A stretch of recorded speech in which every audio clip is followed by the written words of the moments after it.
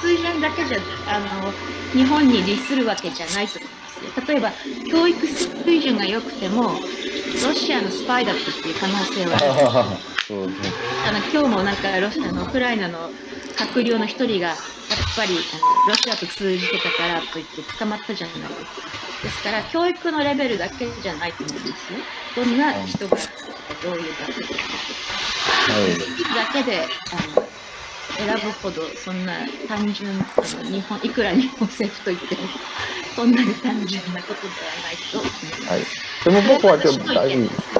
でも僕は次のことを考えてましてね、もちろんあ日本は少子化の問題がありますから、多分近いうちに日本政府は多くの多くの多くのウクライナの人材をあちょっと選ぶだろうと思いますね。その前に日本人の若い人たち、子供を産める人たちにもっとこういいなんていうんですか援助とか政政政治的に出せると、ま、経済的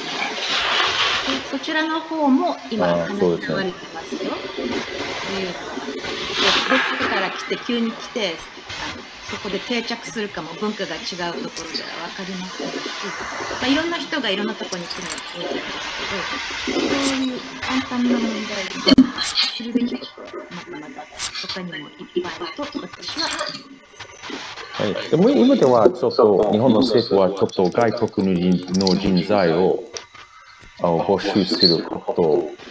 そういうふうに言ってますけれどね。はい、ででも少子化の問題ですね。だから、だからいい、いい、例えば、えああ例えば、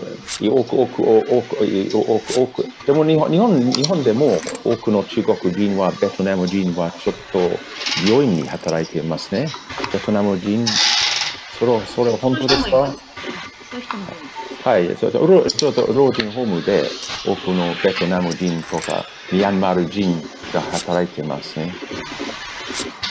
それは病院とか施設で働く、えー